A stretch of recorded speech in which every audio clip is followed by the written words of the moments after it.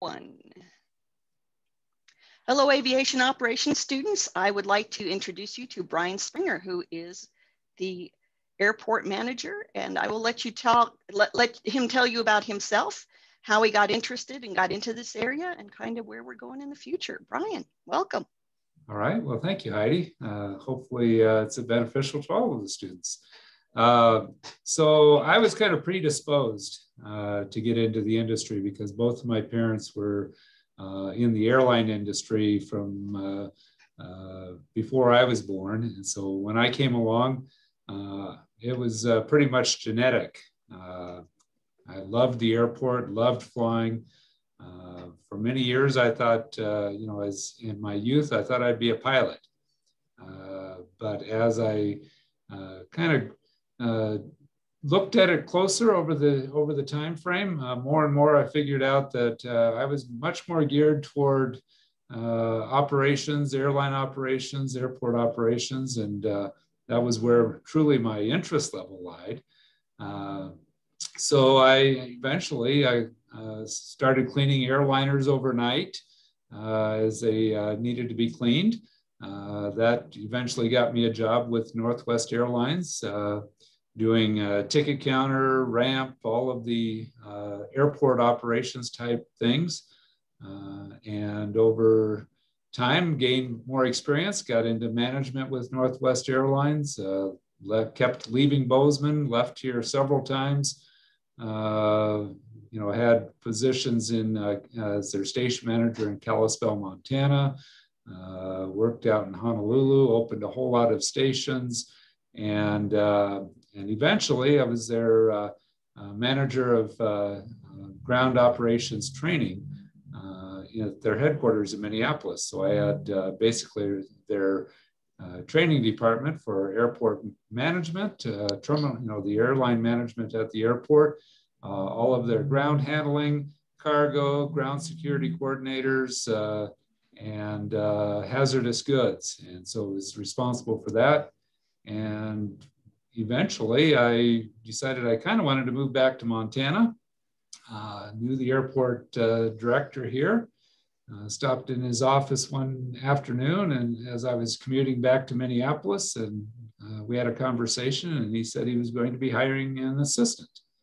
Uh, so shortly thereafter, I applied and uh, got the job and came back as the assistant airport director back in 1999. I was the assistant for 10 years.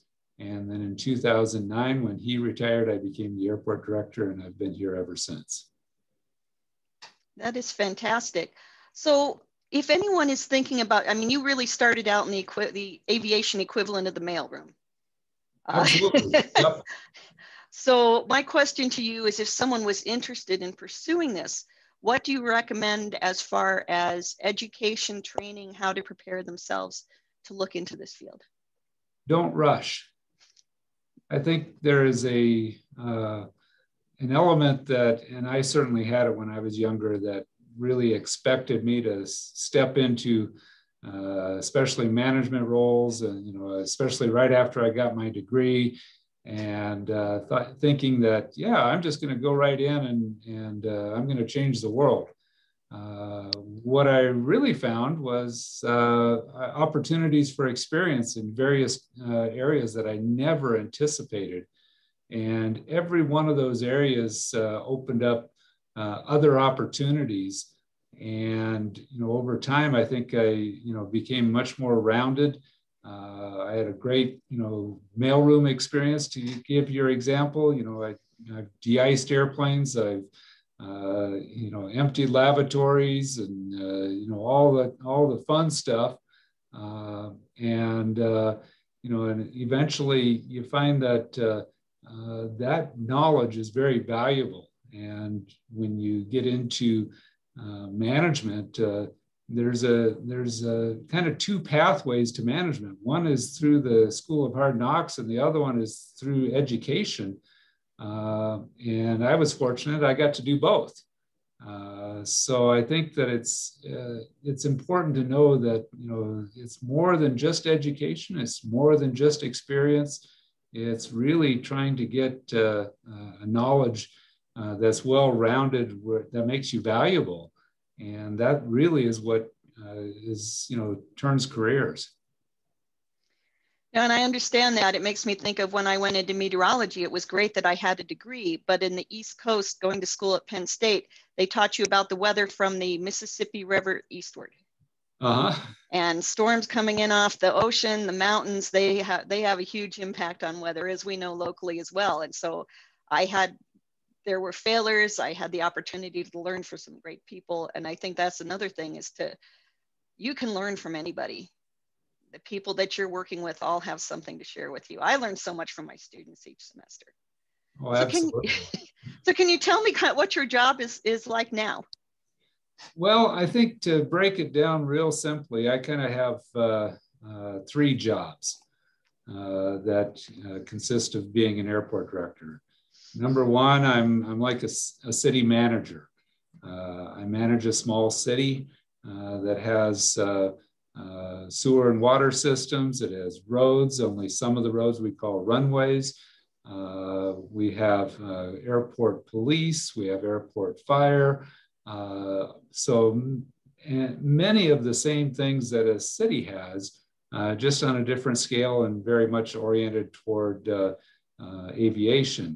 uh, my second position would be more like a mall manager.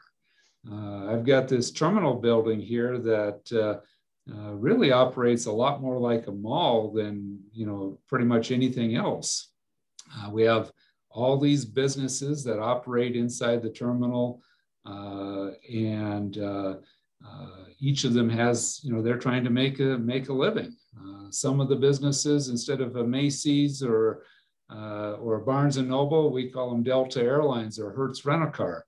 Uh, and you know, we have restaurants and gift shops and all those uh, uh, concessions. And then it extends beyond the, the airport, you know, or the terminal building to the businesses uh, throughout the airport and on the, you know, to the FBOs, uh, flight schools, uh, parking concessionaires.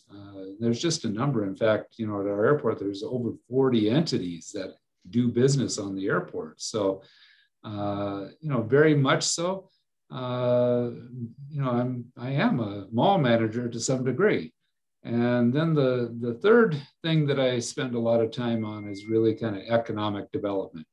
And that's working with the community as a whole uh, to, you know, basically educate the importance of the airport, what it means, uh, you know, be part of the community, uh, working with them on different endeavors, uh, such as creating, you know, an airport interchange uh, to uh, recruiting new airline service. And so it that be, is also a very important part of my job. So really those three elements are kind of the key uh, breakdowns that I kind of look at of what I do on a daily basis. Thank you very much. I think one thing that people don't understand is the role of the airport board. So if you could talk a little bit about the role of the board and your interaction with them, that would be great. Well, in our case, the airport board is a five member appointed board. Uh, they're appointed by the uh, Gallatin County Commission. Uh, they each serve a term of five years and each of them is on a different starting year. Uh, so we have the potential for a new member every, uh, every year uh, but at the same time, they can be reappointed. Uh, they are my boss. Uh, and I think it's important that, you know, there's always a bigger boss. And, you know, I think, you know, obviously when we look at creating the, the direction of the airport, from the airport management side, we have a lot of input. we can make recommendations, uh, and we have a lot of data that we can provide to the airport board to, you know, hopefully uh, let them decide the direction of the airport and, and, and really focus on, uh, you know, where development happens, how it happens, uh, you know, and so it, they become really the guiding uh, part of the airport.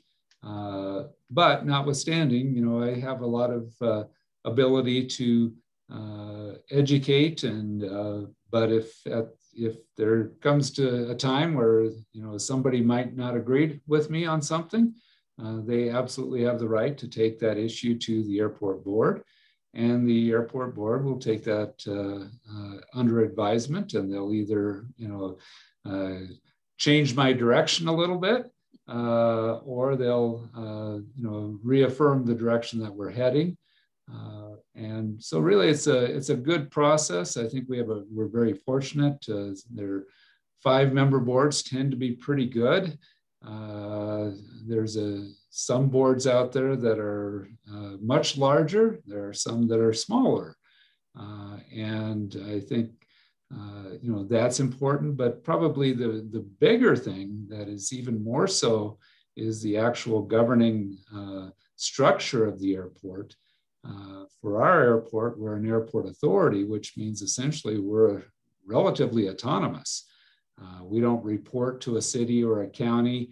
Uh, it streamlines the efforts. And really, our entire focus is the airport. Uh, there are many airports that are city airports or county airports, and, and those airports, you know, are you know, I think they have divided attentions. You know, the city or the county that they're working under has so many other focuses that it's hard for them to, you know, place the the emphasis on the airport, and sometimes the airport gets lost in the mix because of that. So we're pretty fortunate being an airport authority. Uh, we've got a great board, a very invested board in, in you know the direction of the airport and uh, you know, my job is to make sure that you know uh, I provide all the information they can possibly need to make accurate decisions. And you have one of our instructors, Kendall, on the board. Yes. I, th- I think uh, in experience as school board too, it's kind of interesting because a board is both a leader and a servant because while you're autonomous, you still have the airport community, you still have all the guidance and things coming from the federal level. You still have the community you're sitting in. And so while the board is the boss, they're also responding to all those levels of requirements and inputs and everything as well. Absolutely. There's always a bigger boss. all right. Brian, thank you so much. Is there anything else you want to add before we close out this interview? No, I appreciate the opportunity to, to uh, speak with you all. Well, and thank you for sharing your experience with the students. Have yourself a most wonderful day. All right. You too, Heide. Thanks. Bye.